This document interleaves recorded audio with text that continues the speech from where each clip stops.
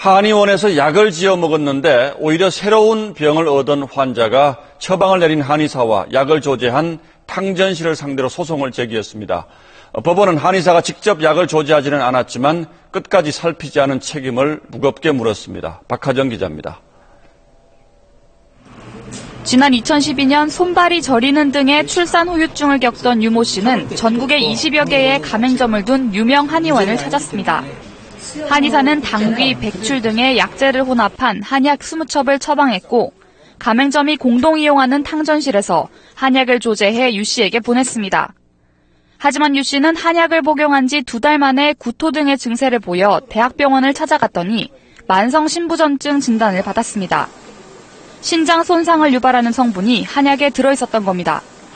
이에 유 씨는 한의사와 한의원 본사를 상대로 소송을 냈고 법원은 한의사와 한의원 본사가 공동으로 1억 9천여만 원을 유 씨에게 지급하라고 판결했습니다. 한의사 본인은 자신이 처방한 한약이 제대로 조제됐는지 확인할 의무를 다하지 못했다고 판단했습니다. 스스로 조제하는 경우랑 동일하게 올바른 한약재가 사용되는지를 검수하고 제대로 그 점검할 의무가 있는데 이런 의무들을 다하지 않았을 때에는 책임을 면할 수 없다. 한의원 본사도 공동 탕전실에 납품되는 한약재를 제대로 살폈어야 했다며 한의사와 본사 모두에게 책임을 물었습니다. SBS 박하정입니다.